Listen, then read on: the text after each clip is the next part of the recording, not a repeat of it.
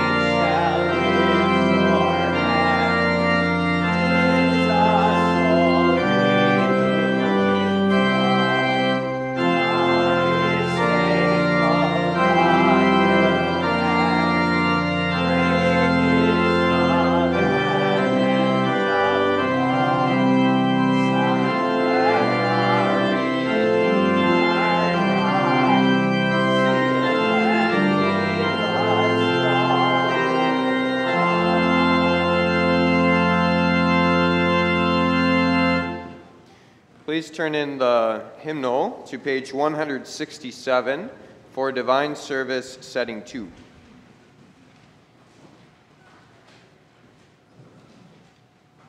In the name of the Father, and of the Son, and of the Holy Spirit. Amen. If we say we have no sin, we deceive ourselves, and the truth is not in us. But if we confess our sins, God, who is faithful and just, will forgive our sins and cleanse us from all unrighteousness.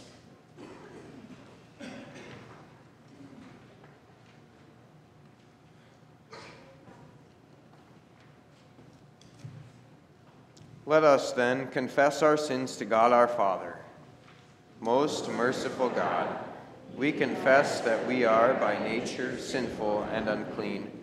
We have sinned against you in thought, word, and deed, by what we have done and by what we have left undone. We have not loved you with our whole heart. We have not loved our neighbors as ourselves. We justly deserve your present and eternal punishment. For the sake of your Son, Jesus Christ, have mercy on us. Forgive us, renew us, and lead us, so that we may delight in your will walk in your ways to the glory of your holy name. Amen. Almighty God, in his mercy, has given his Son to die for you, and for his sake forgives you all your sins. As a called and ordained servant of Christ, and by his authority, I therefore forgive you all your sins in the name of the Father, and of the Son, and of the Holy Spirit. Amen. We continue with the introit. The introit is found printed in your bulletin. I will praise the Lord as long as I live. I will sing praises to my God while I have my being. I will greatly rejoice in the Lord. My soul shall exult in my God, for he has clothed me with the garments of salvation. He has covered me with the robe of righteousness, as a bridegroom decks himself like a priest with a beautiful headdress, and as a bride adorns herself with her jewels. Glory be to the Father, and to the Son, and to the Holy Spirit, as it was in the beginning, is now, and will be forever. Amen. I will praise the Lord as long as I live. I will sing praises to my God while I have my being. In peace, let us pray to the Lord. For the peace from above and for our salvation, let us pray to the Lord. For the peace of the whole world, for the well being of the Church of God, and for the unity of all, let us pray to the Lord.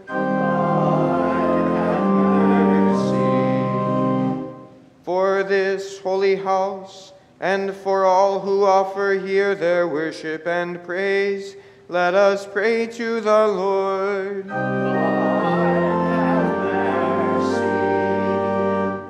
Help, save, comfort, and defend us, gracious Lord. Amen. Glory to God in the highest and peace to his people on earth. Lord God, heavenly King, almighty.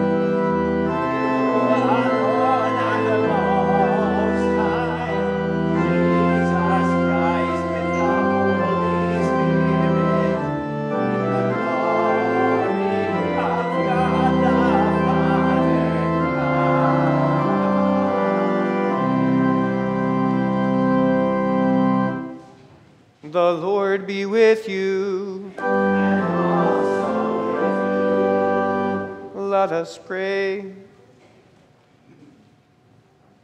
Almighty God, you invite us to trust in you for our salvation.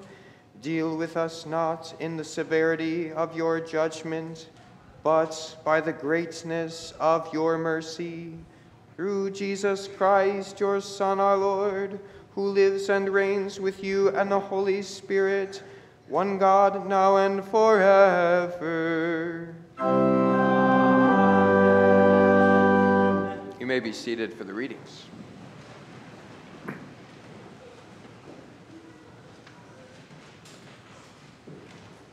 The Old Testament reading for the 20th Sunday after Pentecost is from Isaiah chapter 25. On this mountain, the Lord of hosts will make for all peoples a feast of rich food, a feast of well aged wine, of rich food full of marrow, of aged wine well refined. And he will swallow up on this mountain the covering that is cast over all peoples, the veil that is spread over all nations. He will swallow up death forever. And the Lord God will wipe away tears from all faces, and the reproach of his people he will take away from all the earth, for the Lord has spoken. It will be said on that day, Behold, this is our God. We have waited for him that he might save us. This is the Lord. We have waited for him. Let us be glad and rejoice in his salvation. This is the word of the Lord. Thanks, be to God. He will command his angels concerning you to guard you in all your ways. Bless the Lord, O my soul, and all that is within me. Bless his holy name. The epistle is from Philippians chapter 4. Rejoice in the Lord always. Again, I will say, rejoice. Let your reasonableness be known to everyone. The Lord is at hand. Do not be anxious about anything, but in everything, by prayer and supplication, with thanksgiving, let your requests be made known to God. And the peace of God, which passes all understanding, will guard your hearts and your minds in Christ Jesus. Finally, brothers, whatever is true, whatever is honorable, whatever is just, whatever is pure, whatever is lovely, whatever is commendable, if there is any excellence, if there is anything worthy of praise, think about these things. What you have learned and received and heard and seen in me, practice these things, and the God of peace will be with you. I rejoiced in the Lord greatly that now at length you have revived your concern for me. You were indeed concerned for me, but you had no opportunity. Not that I am speaking of being in need, for I have learned in whatever situation I am to be content. I know how to be brought low, and I know how to abound. In any and every circumstance, I have learned the secret of facing plenty and hunger, abundance and need. I can do all things through Him who strengthens me. This is the word of the Lord. Thanks be to God. Please rise.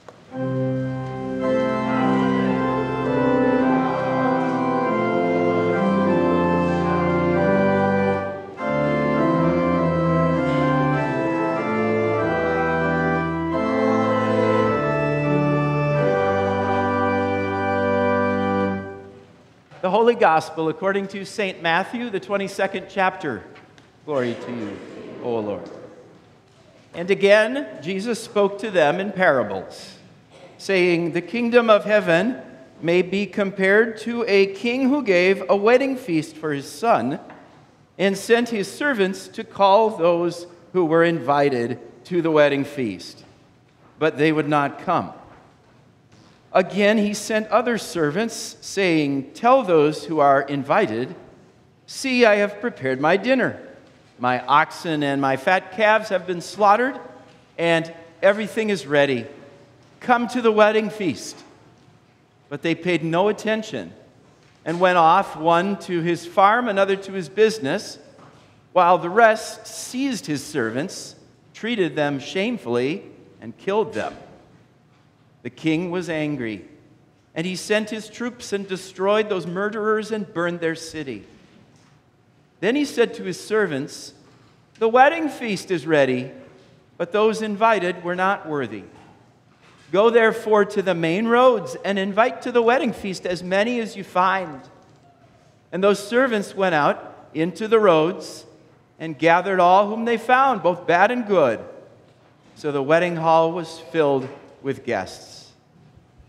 But when the king came in to look at the guests, he saw there a man who had no wedding garment. And he said to him, Friend, how did you get in here without a wedding garment? And he was speechless. Then the king said to the attendants, Bind him hand and foot and cast him into the outer darkness. In that place there will be weeping and gnashing of teeth. For many are called, but few are chosen. This is the gospel of the Lord. Praise to you, O Christ. You may be seated. I invite the boys and girls to come forward for a children's message. Good morning, friends. It is great to see all of you here. I'm looking forward also to hearing the second and third graders sing. So, just for a second, think about your favorite sweet. Maybe a candy bar, maybe a kind of pie, something that's sweet that you like to eat. Now, I ask you a question Would you rather have half of that or the whole thing? Raise your hand if you'd rather have just half of it. Really? That's very surprising to me. Raise your hand if you'd rather have the whole thing. Well, that's what I expected. Put your hands down now, friends. Boys and girls, the Word of God doesn't bring us half a message, but a whole message. Today's epistle comes again this week from Philippians, this time chapter 4. And here, Paul teaches several wonderful whole messages. Paul tells Christians to rejoice. But that's not all that Paul says. That would be only half the message. Paul tells Christians to rejoice in the Lord. Another one, Paul reports that he can do all things. But that's not all Paul says. That would be only half the message. Paul reports that he can do all things through him who strengthens me, through Christ. And then, and this is what I want to focus on today, Paul tells Christians not to be anxious. Now, again, that's only half the message. And we'll get to the other half in a second. But first of all, what does it mean to be anxious? Second graders or younger, you might not know that word. I'll bet you third graders do. You got, what does it mean to be anxious? Jaja? Um, uh, sort of. What were you going to say, Jaja? Aha, we're getting close now. Yeah, right. Scared, she said. Another word for it? Yep. I forgot it. You got idea? Yeah. Worried. Yeah. I had I had thought of scared or worried or or nervous about something. Yeah, that's what anxious means. Now, lots of things can make us feel anxious, like homework and tests and uh, projects and a lot of things in school. We can get anxious when we're not getting along with a friend, or maybe at home. People aren't getting along at home, and that can make us anxious. And we can be worried and scared about how things are going to turn out. Sometimes we can get anxious about crime in our community or war in our world. When people get anxious, they often show it by their uh, actions, by their body language. You know what I'm talking about. There's a face that's an anxious face, right? It looks maybe something like my face right now, right? An anxious face. The face looks concerned. Muscles may twitch, knees may knock. Some people bite their fingernails.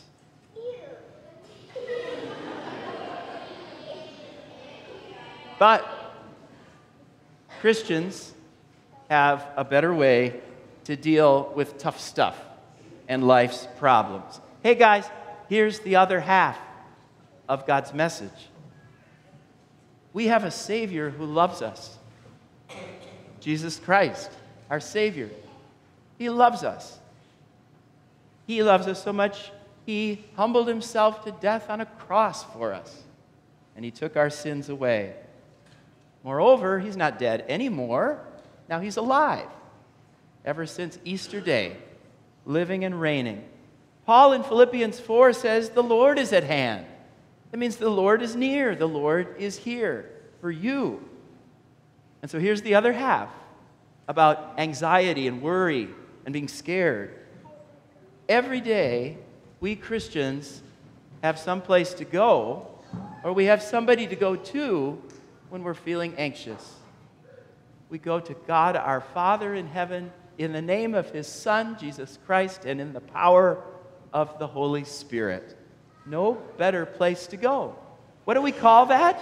When we often do this, or sometimes Christians do this, or even this.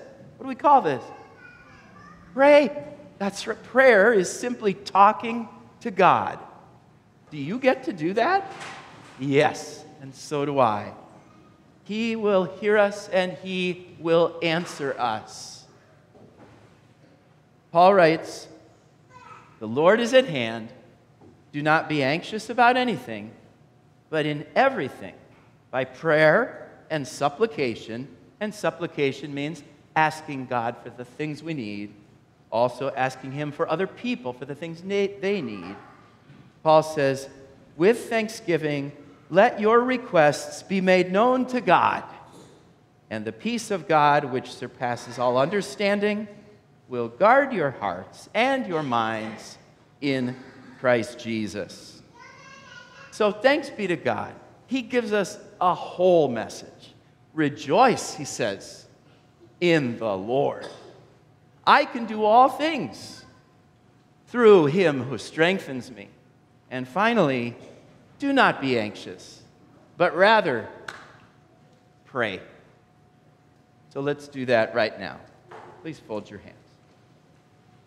Dear Heavenly Father, when you sent your Son to die for us, you showed us that you truly love us sinners and that we may always rely upon you.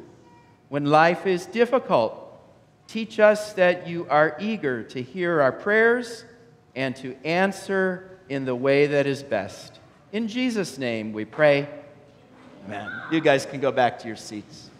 We'll sing the hymn of the day.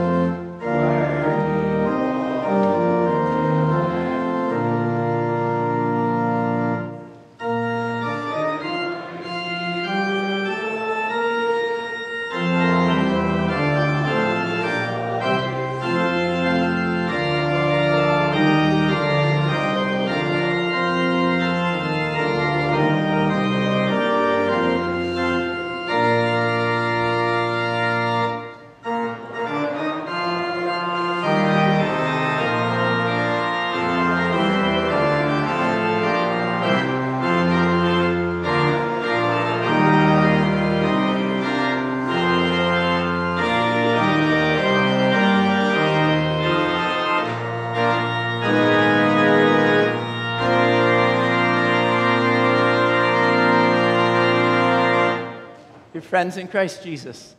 Grace to you and peace from God our Father and the Lord Jesus Christ. The text is the gospel reading.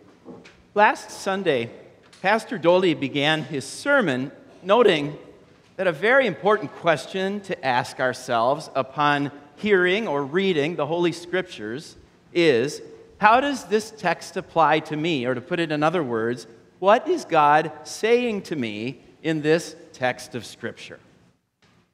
It is necessary to hear and read the Scriptures with care so that we can arrive at correct conclusions about what God is saying to us. For God has given His Scriptures and He has instituted preaching in His church so that God's people might hear from His servants those messages and truths, those warnings and promises that God intends for His people.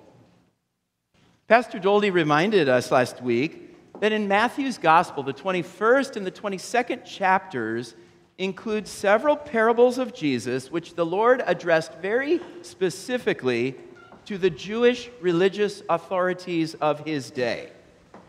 Last week, we heard the parable of the vineyard owner and his tenants. And this week, we hear the parable of the king and the guests whom he has invited to the wedding feast of his son. In both parables, and these are very disturbing parables, there are shocking displays of arrogant disregard and contempt for those in authority, followed by judgment against those who have acted so wickedly. As Jesus Christ, during what we call Holy Week, he told these parables in the days just before his crucifixion. As Jesus in Holy Week told these parables, the Lord's message was one of sharp rebuke to his enemies among the Jewish religious leaders. Jesus challenged them, who were bent on destroying him, to yet change course even at this late hour, to repent and to believe in him. Now, today I will declare to you how the parable of the wedding banquet applies to you. But before doing so, there's something that must be brought into this sermon for just a bit and then kept in its proper place. It's the news of our world. This week, the news has been dominated by events in the state of Israel, where one week ago, Hamas militants from Gaza bombarded Israeli towns, then broke through a border fence and proceeded to attack and kill Israeli civilians, also taking many hostages, as I'm sure you all know. Counterattack by Israel has followed, and a ground invasion by the Israeli military into Gaza is, I think, expected very soon. Now, news of war in any corner of the world should get people's attention and should arouse their concern, in particular, Christians who take seriously Jesus' command that we love our neighbor, and that means all other human beings, as we love ourselves. News of war in the modern day state of Israel is always particularly alarming because of how volatile that region of the world has historically been, and especially so since the forming of the modern day state of Israel in 1948. We ought to pay attention to the unfolding news about the state of Israel and her neighbors in these days. And we ought to be concerned about the welfare of all the people involved. And as I was saying in the children's message, then above all, pray. According to our office as royal priests of God, we ought to pray for all those involved. We also ought to pray for our nation's leaders to be given all needed wisdom in the exercise of their God given duties in relation to our nation's ally, Israel. And we ought to pray for the United States citizenry, among whom there are clearly some divides about U.S. support for Israel, that God would grant to us civil stability, especially in those places where protests have emerged. So, all of these are proper Christian responses to war in general and, in particular, to the war that is now happening. What we must, however, guard ourselves against is being misled by Christian preachers who, in these days, may be making unbiblical assertions about the significance of these Middle East events. Many of our brethren in Christ, having a love for God's Word and a very commendable desire to do God's will, with the very best of intentions, promote false understandings of biblical prophecy, in particular about the end times. These Christian teachers claim to draw from the scriptures, in particular prophetic books like Ezekiel, Daniel, and Revelation, the message that the modern day state of Israel plays a pivotal role in the coming end times. Many of these people hold to some version of a millennial doctrine, that is, a teaching that Christ will return to earth and reign over the nations on earth from Jerusalem for a literal period of 1,000 years. Now, these very passionately held and very well meaning and sincere interpretations of Scripture are simply incorrect. They do not do justice to the centrality of Jesus Christ in the Scriptures and in God's plan of salvation for Jew and Gentile alike. These teachings fail to keep Christians' eyes on the exalted Christ who rules and comforts his church through word and sacrament right now, and who will come again once and suddenly on a day which only God knows to judge the living and the dead. As Jesus said in Matthew 24, so if they say to you, Look, he's in the wilderness, do not go out. If they say, Look, he's in the inner rooms, do not believe it. For as the lightning comes from the east and shines as far as the west, so will be the coming of the Son of Man. So, dear friends, we Christians should love our neighbor. We should boldly bear witness to the gospel.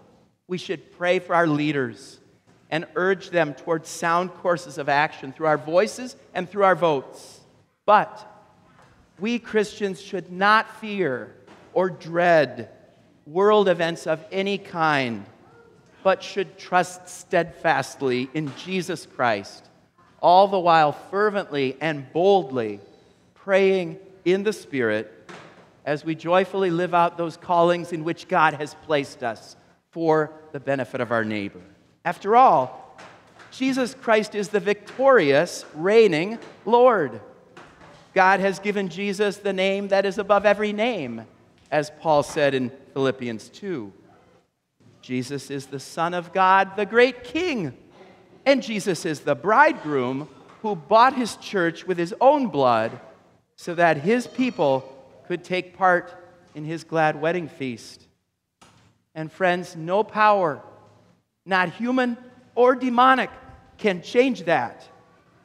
So, tranquil hearts, God's people. Tranquil hearts. Jesus is Lord.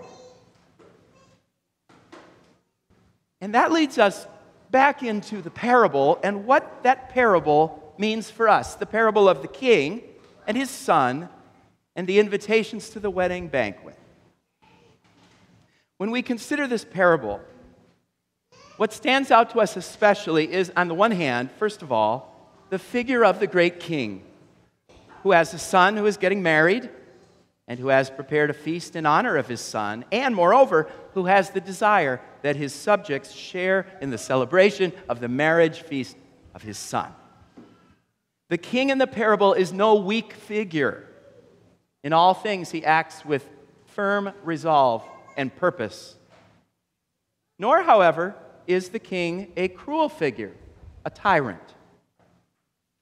Friends, here is a king who, when his subjects at first refuse his invitation, imagine that, he suffers himself to be thus insulted by them and turns around and invites them again.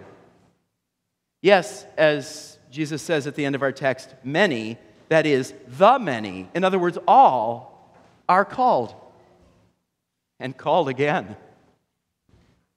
On the other hand, what also stands out in this parable is the brazen audacity of the subjects of the king.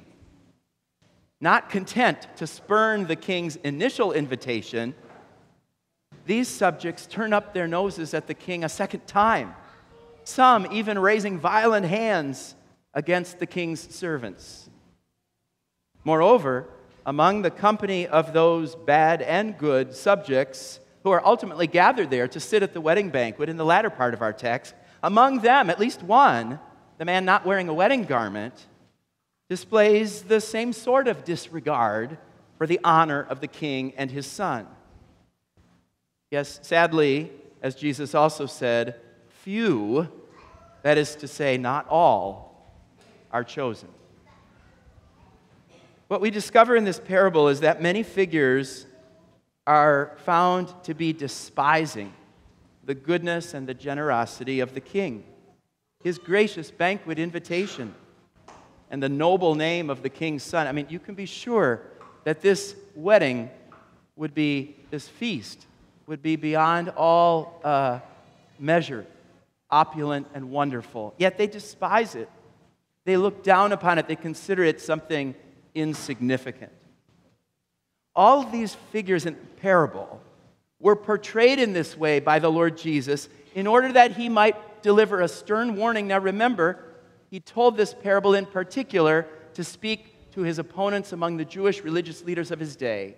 He wanted to give a stern warning to them to cease from their rejection of him and their despising of the Father who sent him in the swift punishment of the king that he meted out upon those who murdered his servants, and then also in the swift punishment that the king assigned to that brazen, unrobed banquet guest.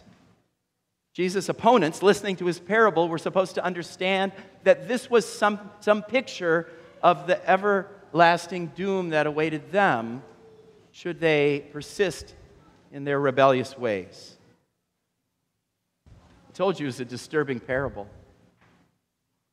But quiet and much understated in this parable are also those many fortunate persons, both bad and good, the text says, whom Jesus portrays as having ultimately received a seat at the wedding banquet of the king's son. They have come with due regard for the king. They desire to honor the son they are intent to celebrate at the feast to which they have been invited through no merit or worthiness of their own. They don't deserve to be there. They weren't the ones originally on the invitation list, yet there they are. In contrast to the rebellious wicked in Jesus' parable, these persons are the ones in whose lives the king's good purposes find their fulfillment. They're ready to celebrate. Those happy persons represent the nameless multitude from both Israel and the nations, whom the Holy Spirit, through the gospel, has called to faith and has kept in the faith. God's desire is that each of you be among them. Despise not, therefore, the gospel invitation of God through his servants, your pastors. When your pastors beckon in the Lord's name, heed their call as if the Lord himself were calling you. Believe and accept this, your God's invitation, and present yourselves with cheerful and obedient hearts before the Lord who loves you.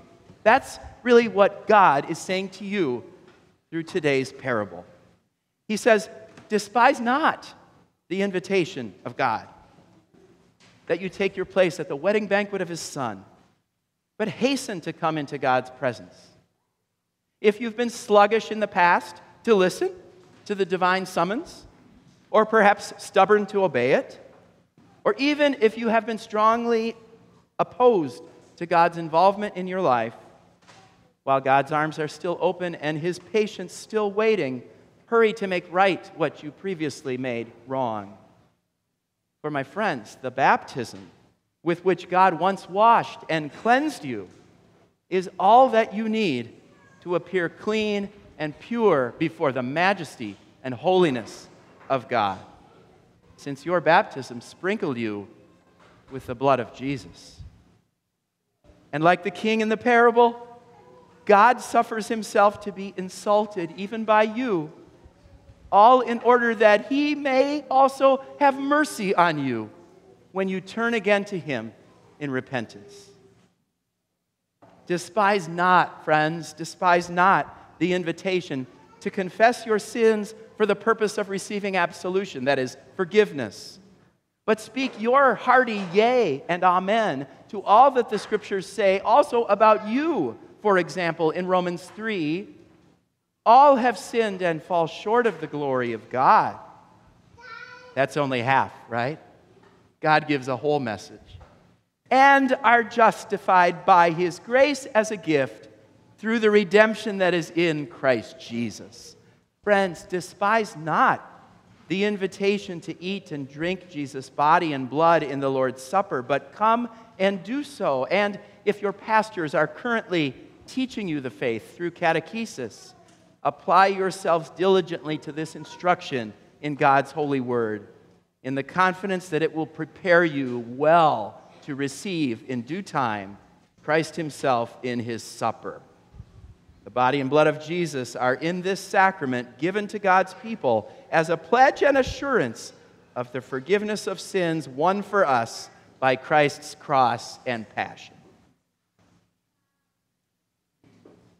Dear friends in Christ, in conclusion, St. Paul told the Christians in Rome in chapter 15 whatever was written in former days was written for our instruction.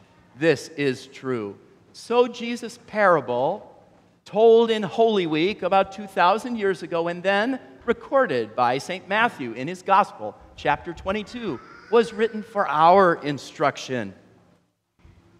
Jesus Christ laid down his life on the cross, was buried, rose from the dead, and ascended so that he might pour out the Holy Spirit on his church for the delivery of salvation through preaching and through baptism for all who believe. The church's gospel message is the invitation to attend the eternal wedding banquet of the Son. That banquet that has begun already now as the church gathers around the word and sacraments, and that banquet which will come to its full flowering at the return of Jesus on that day when God knows, that day for which we long, and the unending glorious heavenly banquet feast. Once again, then, despise not that invitation, rather, repent and believe. All is prepared, the feast is ready. There's nothing that you need to do. God has done it all. Yes, indeed, your wedding garment, Jesus Himself has woven for you on the loom of His cross. In Jesus' name, amen. The peace of God that passes all understanding. Keep your hearts and minds in Christ Jesus. Amen. Let's join in confession of our faith. Please turn in the inside back cover of your hymnal. You'll find the Apostles' Creed. We join to confess. Please stand. I believe in God the Father Almighty, maker of heaven and earth Christ, his only Son, our Lord, who was conceived by the Holy Spirit, born of the Virgin Mary, suffered under Pontius Pilate, was crucified and died and was buried. He descended into hell. The third day he rose again from the dead. He ascended into heaven at the right hand of God the Father Almighty. From thence he will come to judge the living and the dead. I believe in the Holy Spirit the holy Christian church, the communion of saints, the forgiveness of sins, the resurrection of the body, and the life everlasting. Amen. Let us pray for the whole church of God and for all people according to their needs. Heavenly King, your Son Jesus Christ purchased the church with his precious blood. Preserve her in the pure teaching of your word, in the right use of the sacraments, and in the unity of the faith. Lord, in your mercy, hear Heavenly King, you send out your invitation that all who believe in your Son should take their seats at his feast. By the proclamation of your church, gather many, however evil they may be, to repent and fill your eternal banquet hall. Lord, in your mercy, Heavenly King, because your Son has set us free, we are free indeed from the powers of sin, death, and the devil. That we may remain in this saving gospel, continue to give pastors who preach the gospel in its purity and administer your sacraments according to your institution. Lord, in your mercy. Heavenly King, bless all families and the homes in which our people dwell. Grant grace to husbands and wives, that they may fulfill their vocations to one another and to their children. Grant also that, as a family, they may faithfully teach and learn the faith. Lord, in your mercy.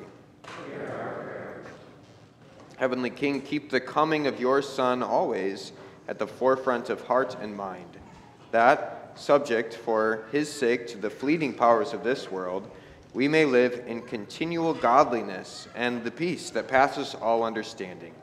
Lord, in your mercy, hear our prayer. Heavenly King, defend any who suffer due to war and violence. Preserve them both in body and in soul, that, awaiting the resurrection of all flesh with your Son, Jesus Christ, they would, with us, receive with glad hearts him who will come as the lightning comes from the east and shines as far as the west. Lord, in your mercy, hear our prayer. Heavenly King, for whom we wait, you promise to wipe away the tears from all faces. Bless Daryl Axtell, Steve Balster, Edna Bornstein's son, Robin George, Jeremy Brown, Carmody Catlin, Eldred Gerhold, Dwayne Goodwin, Alice Grisham's cousin, Wilma, Alice Hoffmeyer and her sister, Jan, Chris Rozel's brother, Bill, and her cousins, Jeff and Sandra, Mackenzie Kelly's mother, Duska, Don Mater, Bill Rozel, Vera Rowley, Jerry Sanders, Carol Stellwagen, Michael Ty, and Bobby Wilkinson's nephew, Steve, and all who weep here, that at the last they may be comforted, restored, and received into the banquet of heaven. Lord, in your mercy, hear our prayer. Heavenly King, you have prepared a table before us in the midst of those who refuse your invitation. Keep your church unstained by the world, that we may partake of the Lord's Supper worthily, clothed in his baptismal grace. Lord, in your mercy, Heavenly King, give us such joy in pursuing what is true, just, pure, and worthy of praise that, spurning the temptations of this world, we would suffer no anxiety. Let our trust be placed fully in Christ, and let our hope rest in the life of the world to come, through Jesus, through the same Jesus Christ, your Son, our Lord, who lives and reigns with you in the Holy Spirit, one God, now and forever. Amen. May be seated for the offering. I believe now's the time for the children to come forward. Thank you, parents, for getting your child here this morning, and thanks to all who either brought food or prepared food. There is a hot continental breakfast downstairs, and after that, Sunday school for all ages. So please take advantage of all of that. We're going to sing a selection of numbers that we've been putting together since school started in general music, and we've just kind of strung them together in one presentation of praise.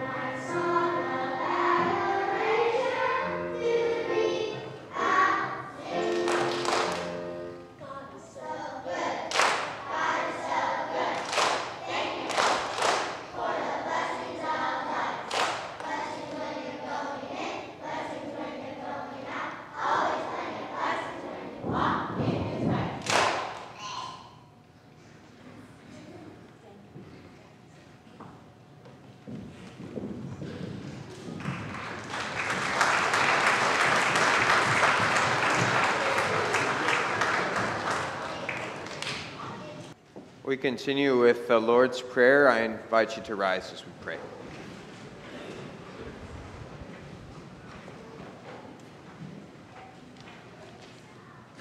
Lord, remember us in your kingdom and teach us to pray, Our Father, who art in heaven, hallowed be thy name.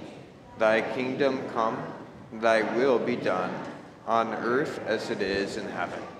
Give us this day our daily bread, and forgive us our trespasses, as we forgive those who trespass against us.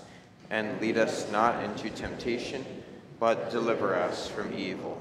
For thine is the kingdom, and the power, and the glory, forever and ever.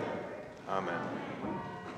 Heavenly Father, God of all concord, it is your gracious will that your children on earth live together in harmony and peace. Defeat the plans of all those who would stir up violence and strife. Destroy the weapons of those who delight in war and bloodshed and according to your will, end all conflicts in the world. Teach us to examine our hearts, that we may recognize our own inclination toward envy, malice, hatred, and enmity. Help us, by your word and spirit, to search our hearts and to root out the evil that would lead to strife and discord, so that in our lives we may be at peace with all people Fill us with zeal for the work of your church and the proclamation of the gospel of Jesus Christ, which alone can bring that peace which is beyond all understanding. Through Jesus Christ our Lord. Amen. The Lord bless you and keep you. The Lord make his face to shine upon you and be gracious unto you. The Lord lift up his countenance upon you and give you peace. Amen. Amen.